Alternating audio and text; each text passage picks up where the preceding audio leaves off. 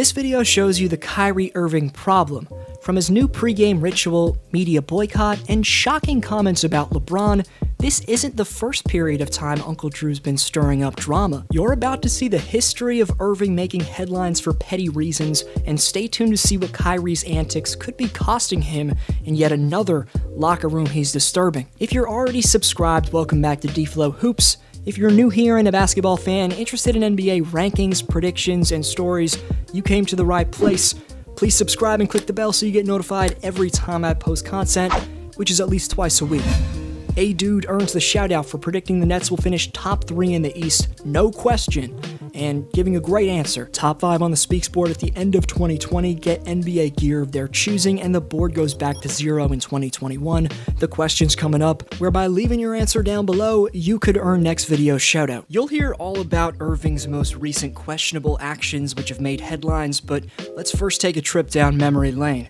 Kyrie's ego started to take off, and his run ins with the media started happening at a high volume towards the end of his Cavalier tenure, specifically after Cleveland's 2016 championship run. In Game 7 of the finals, LeBron made the block to keep the Cavs in it, and Kyrie Irving hit the shot a few minutes later. A three pointer in the face of Stephen Curry to seal Cleveland its first ever title. From that moment on, Irving seemed to have the world at his fingertips. He had proved haters wrong, he was a stone cold closer, he was a bona fide top three player. The man was the ultimate Robin, demonstrating that Batman needed him just as much as he needed Batman.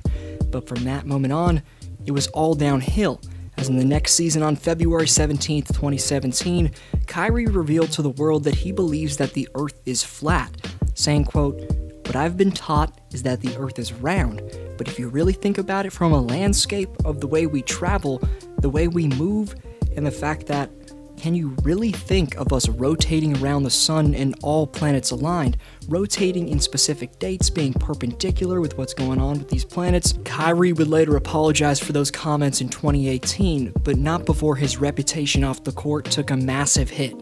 After tension built up between the Cavaliers' two superstars during the 2016 17 season, with interviews like these happening,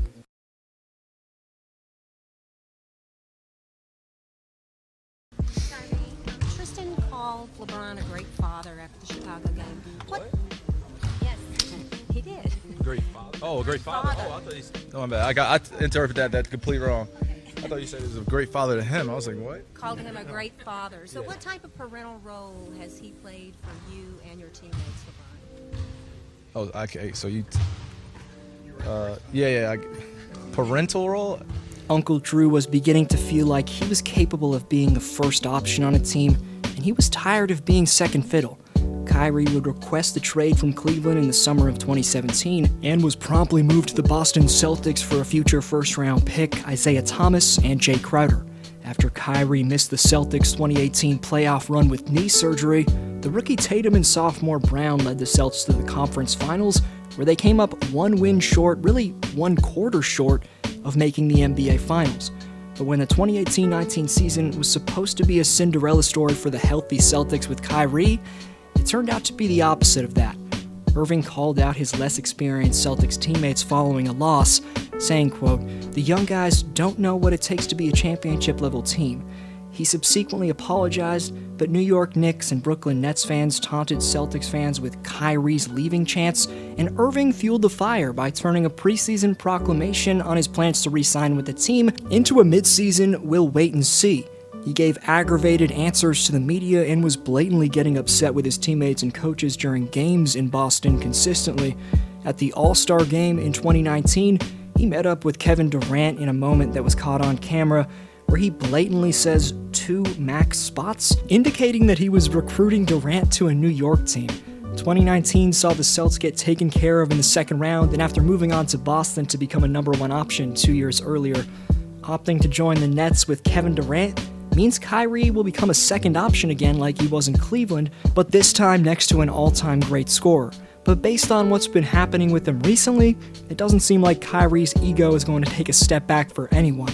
Before you see what Kyrie's ego could be costing the Nets in 2021, now into the top headlines he's generated in Brooklyn. Irving's tenure in a Nets uniform began with ESPN's Jackie MacMullan reporting on his mood swings. The report detailed that when Irving lapses into these funks, he often shuts down, unwilling to communicate with the coaching staff, front office, and sometimes even his teammates. Nets team sources say one such episode occurred during Brooklyn's trip to China, leaving everyone scratching their heads as to what precipitated it. But even as Mood Swings Gate trended on social media, Durant had his teammate Irving's back at the time. He told MacMullan in response to the report, quote, I look at Kyrie as someone who's an artist. You have to leave him alone. You know what he'll bring to the table every night because he cares about the game so much. And while this was all going down in October of 2019, Kevin was correct in saying Kyrie cares a ton about the game, and he's still correct with that statement. This calendar year, though, Kyrie started to make other things than basketball a priority in his life, and not something normal like starting a family or collecting shoes, but instead filling his spare time trying to stir up as much drama in the headlines as possible so we can see his name popping up all over the internet.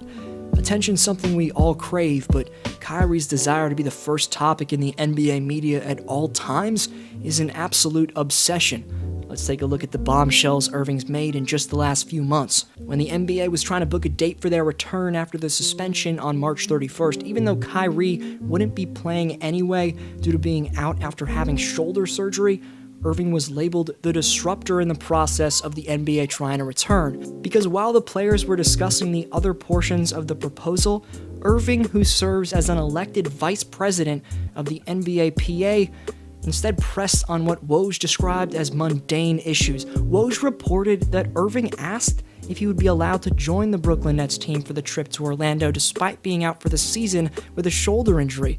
Irving then reportedly wondered if he would be allowed to use a sauna at the complex, if he could sit in the stands and cheer his teammates on, or if his sponsors would be allowed to send, quote, adult beverages to players, and what the food setup would be like in Orlando. All of this was going on when the NBA was trying to work out a date for the season to return. Early in the 2021 campaign, it's been Kyrie's media boycotts that have been in the headlines. Irving issued a statement earlier this month instead of speaking with reporters so that he could, quote, ensure that my message is conveyed properly.